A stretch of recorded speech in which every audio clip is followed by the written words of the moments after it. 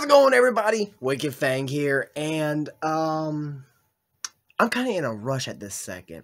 I didn't realize that tomorrow is legitimately Valentine's Day, so I got a pretty cool uh, Valentine's project that um I've been working on, I guess you could say, for my wife, and um, yeah. So we're gonna go ahead and see the whole entire experience of me getting a project set up, and what I'm going to do is I'm gonna go ahead and just show y'all what I'm doing right now. And I'm doing this all off my phone, so yeah. And I got to run downstairs and grab my Valentine's Day card from my wife that I got her. But yeah, this is a fun little project that I decided to go ahead and work on.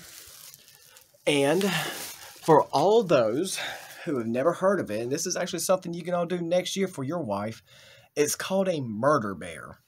The idea is you take a teddy bear, like so, a nice big one. You want to make sure it's big enough. And you want to get some chocolates. Some nice, delicious chocolates. And uh, sorry if the lighting's a little off. This is a black uh, black box, and you know me and Jamaica, we always got that dark sense of humor. We always sit there and say that, oh, my heart's black enough for you, or, you know, my love is as black and all that stuff. So, we got a nice little humor. I'm going to cut that tag off. But uh, you want to make sure that the idea is that you want to put this inside the bear. And you want to make sure that it's big enough for the bear. So, I did myself a little bit of measuring, found out that it was actually the right size for it and uh, yeah. So I'm going to legitly have a overhang of the camera shot of this whole entire video being made, and um, you're going to see me legitly cut into the back of this bear, stuff the chocolates inside it, and sew it back up. Hope for the best for me because I'm legitimately going to have this ready for tomorrow for my wife for Valentine's Day. so it's legitimately my own little dark, twisted sense of humor on Valentine's Day, and I legitimately got this idea off of TikTok too, so she might actually like it. But uh, you know, I'm gonna make her do it tonight. I'm gonna go ahead and fill out the card and everything, and I'll probably get her to fill it out tonight. So I think that's what I'm gonna do. Let's go ahead and um. Let's go ahead and pause this right here and go ahead and get the different camera shot. All right. Here we are. And the way I got the camera angled up and everything, it's legitly a certain way I had to make sure. So I got to actually figure out where the seam of this bear is, which is going to make it a little bit more difficult. So I'm just to probably take my luck right here. I'm just to cut. I mean, it's not to really matter at the end of the day you know, what happens because it's, it's going to get destroyed anyways. You know, she, she's going to be heartbroken because this is a sweet looking bear right here. She's going to be like, oh, honey, you're going to seriously make me murder? And I'm going to be like, yes, you have to murder the bear. All right, I'm just going to take my knife right here and I'm just going to kind of like work right on into it. I think that's a seam right there. That's okay. We're just going to cut right on into it.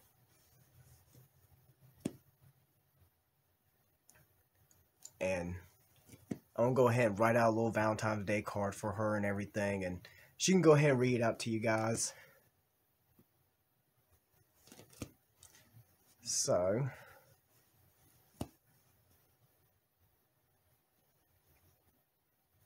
don't really want to like do too much damage. I mean, I got the hole started, so I guess we'll just go ahead and cut into it now.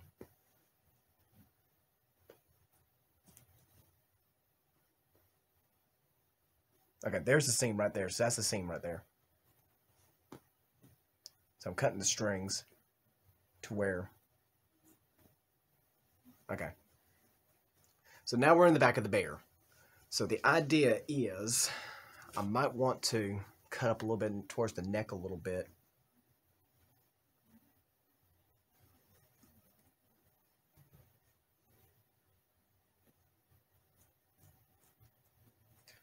Okay. So that should be large enough. Let's go ahead and cut the tag off here because we don't really need the tag. I'll probably like salvage it, and I'll probably use it maybe like tie it in like something else or something. Oh, it's a little bent right up here, so it was like legitimately the last black card. That's probably why no one bought it because it, the tag was bent, and I was like, you know, I ain't worried about the tag. So I'll probably take out some of the stuffing here. And I'm not going to waste it. I'm going to legitimately save it because I might need some. So yeah, we're just going to take some of the stuffing out of it.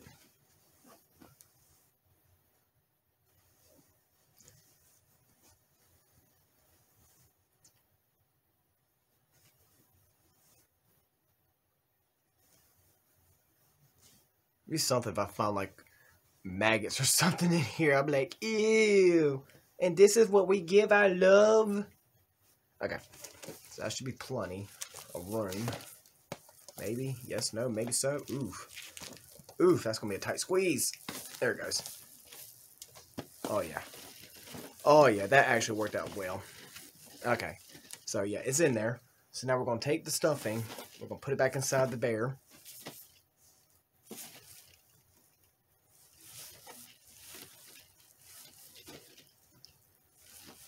And he's going to look a little extra stuffed now because he has uh, something inside him.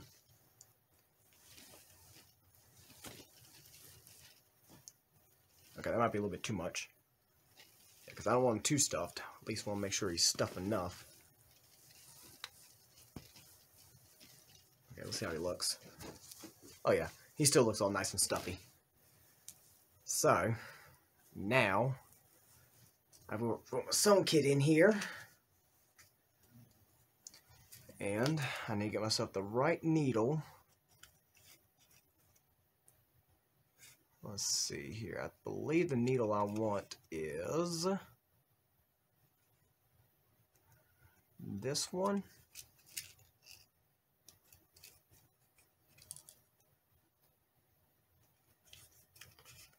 Now, I know the camera quality is not that well because it's not an actual top-down thing. I'm legitimately using what I got. And, uh, I try my best to make the video quality as good as possible. But, yeah.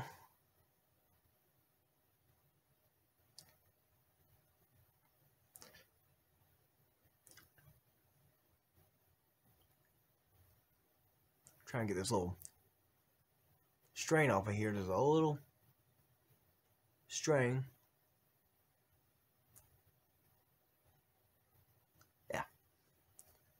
Okay, so I should be able to slide this right on in. That's a very thin eye.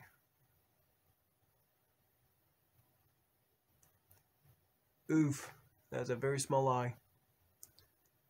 Now I can just barely get it in there. Damn. Like, I'm going to legitly show you. I don't know if the camera's going to focus on it or not. Nah, it ain't going to focus on it. But the eye's like so small. And I got to feed it right on in there. I usually have a tool that helps. I might have to go with a different needle. Yeah, I'm with a different needle. That eye is just a little too small. I got my little cheating tool that I usually use whenever I'm sewing. So, I believe this one might have the right size, the right eye.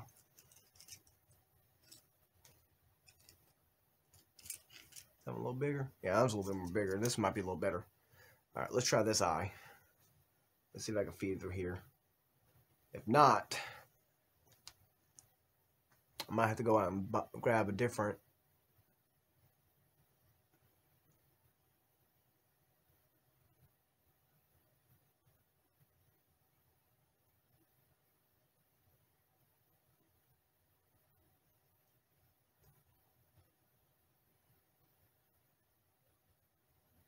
Damn.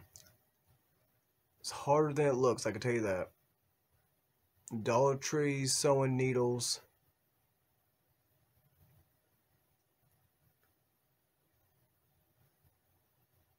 are the hardest.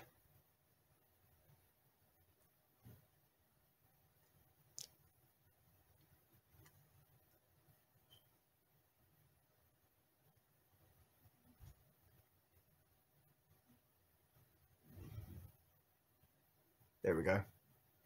Barely got it. Barely got it. Oh, damn.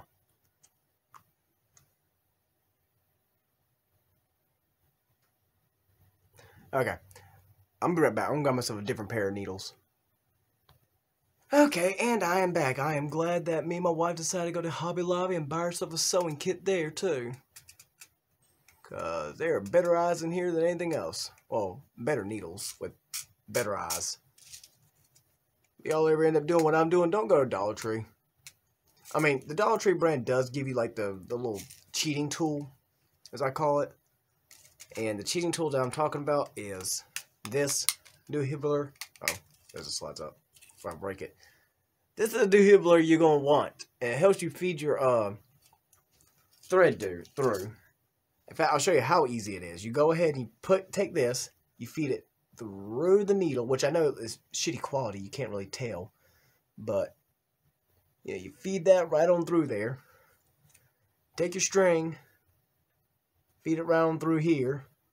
You know, get a nice, give it a string. You grab the needle and you pull it round through. And bada bing, bada boom. Your needle is legitly hanging. So now, this is where my surgical skills come in. Disclaimer, I do not have surgical skills. So if you're in dire need and you need uh, medical attention, please go to a professional doctor. Do not come to me. I am not your doctor.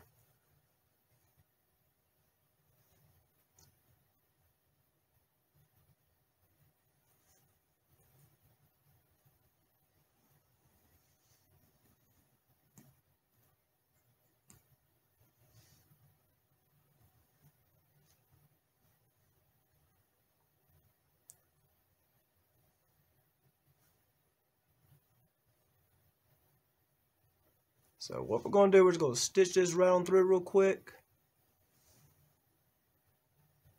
And the way it stitches on through is it's really easy stitching. It's just kind of like a Jacob's ladder, I guess you could say. You kind of just go on diagonal, left and right, left and right. And I know somebody's going to sit there and have it in the comments saying that, well, you know, you could have just done it this way. This would have been a lot more easier and all that stuff. Yes, I know that, but this is just known as a quick stitch. That's basically all I'm doing is a quick stitch. I'm not trying to do anything different. You know, I know someone's going to also say that, well, why'd you leave the thread on the um, on the other end and stuff? Because I don't know how much thread I got. Well, you're supposed to feed it, like give yourself a little bit of slack on the needle itself and everything. I'm like, I know what I'm doing. Trust me, I know exactly what I'm doing. I just do things a little differently because it's just me.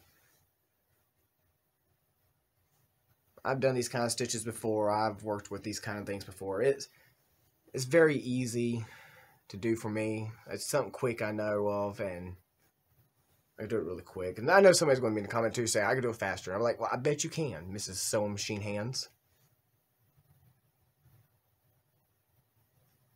But the idea is if you're going over, under, over. You know, you're going back. You're going back into it and going over, and then you're going under. And this way, it keeps the seams. It, doesn't really matter how far you go because you're just going to really pull it tight, and you're just going to basically kind of have it resewn right back into the spot. Like there's people that can like get it right there on the seams and stuff. And me, I'm actually good enough to where I can keep it to where it doesn't really matter how far it looks. Because like I said, it's going to get destroyed at the end. Going to get destroyed at the end of the day. So I'm not really stressing about it. See what I mean? And then this is what I like to do. I mean, she's going to know that it's been sewn up anyway, so I just go and take it and I feed it. I don't over and under. And then feed back into the hole. Because that way it makes a, a, a tighter um, stitch. So the way you do that is you want to feed back into the circle. And that way the string is caught. And this is just like a little locking method right here. It keeps it from um, getting untangled too quick. This is a little trick I learned because she actually had a little stuffy and I accidentally ripped it and uh, well one day I decided to be nice and I sewed it back up for her and she was shocked over the uh, trick I knew because well when you have a whole bunch of little nieces and younger cousins that are you know always breaking their stuffies and everything and they come up to you and they're like, ah, Gertie, my stuffy. And I'm like, okay, I'll fix it. I was the handy, good uncle slash cousin slash everything. And that's what, that's why a lot of people love me. So I'm just to go ahead and make a nice little knot here.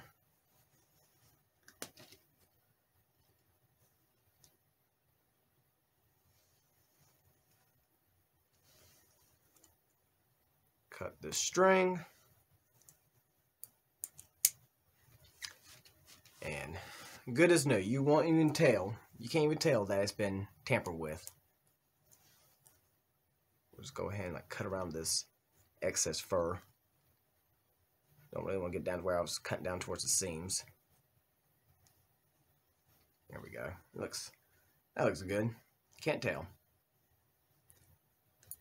So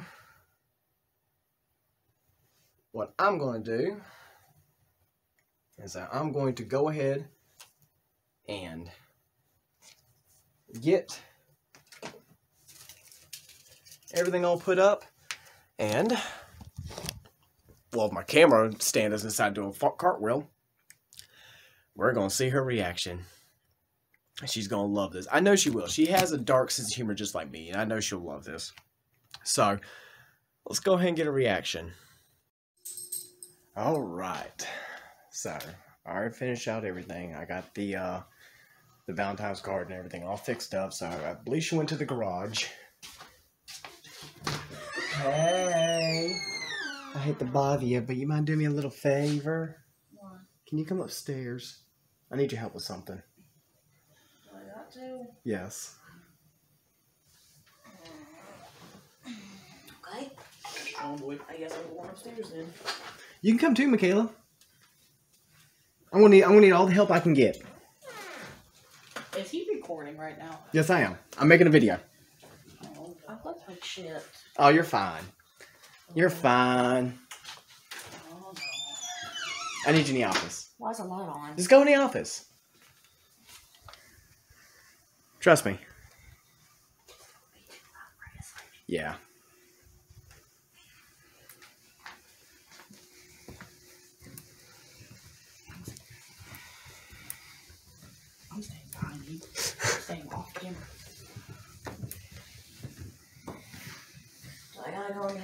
Yes. Happy Valentine's Day, honey. What the fuck? So, let's go ahead and turn this around so you can see it better. Come on over here. Oh. All right, honey.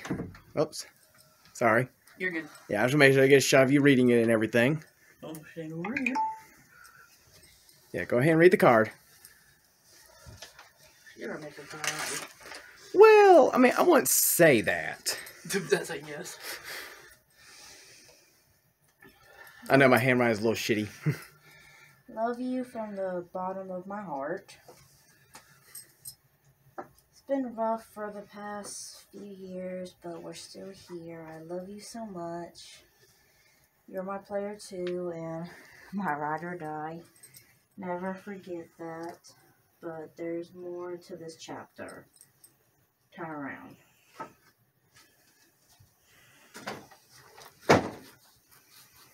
That bear has to die. Doctor. What? the bear has to die. What do you mean it has to die? You have to murder the bear. No. Yes. I, but it's adorable. I know it's adorable. Where do,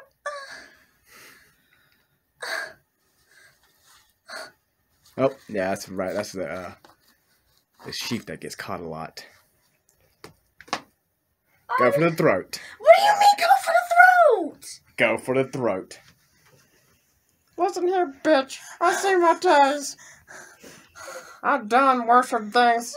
I've seen worse things. You can't do much for me. Do I really gotta go for the throat? Yes. You have to slit his throat. You have to slit the teddy bear's throat. Please don't make me. You have to slit his throat. You can just sew it back on. I can't. I can't do it. Come on. You gotta do it. Cut right there. That's right. Right for the jugular. Go right for the jugular. I can't. Yes, you can. Pretend it's your worst enemy. Yeah. That's not healthy. Think of it as me. I was not gonna- That's it. Keep on cutting. That's it. I'm sorry. Don't Don't sound like that. Be cool if I had some more fake blood in it. Do I have to keep going? Uh, you might want to go a little further. Poor teddy bear. I know, right? God, you're so heartless. Look at you. Look how heartless you are. Now, stick his intestines out. I don't want to. That's right. Digging for his chestnuts. Oh, yeah. Pull his heart out. Rip his heart out. Happy Valentine's, honey.